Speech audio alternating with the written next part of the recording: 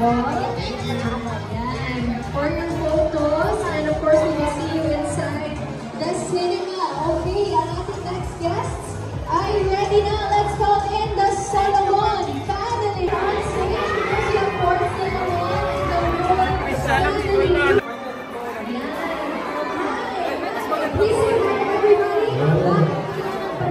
Mami Binti, anong mapipil mo na finally, ah, mapapanood na ng mga tao yung sa Sigil after 4 years? Sobrang excited. Spray tayo siya. Nandiyan, nasan po si ano, si... Si Bob, si... Opo, si Dad. Ay, ayun! Ayun. Thank you po, Mami Binti. Thank you po. Opo. Nandun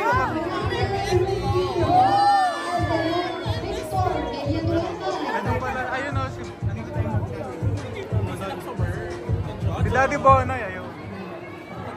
Tara, survey natin si Daddy.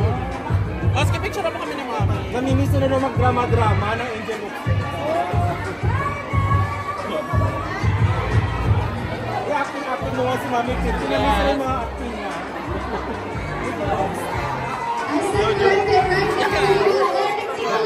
Ito, Jojo! Kuya Eric, hello po. Hello. Long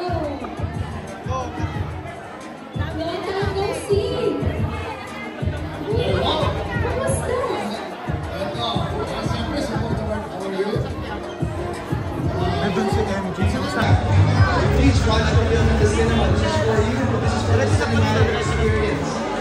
I'll see you in the movies on Wednesday. Thank you guys for the support. Yes, indeed, cinema is back. Thank you so much, Direct Paul. You can take your photo there.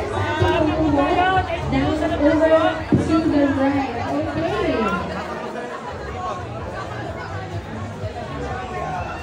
Let's call in our next guest. We have Nico Natividad and. Dito ah. Maraming salamat po sa lahat ng pumunta ngayong gabi. Exactly. Maraming salamat din for showing your support. You may take your photo down po, group photo there sa ating photo wall.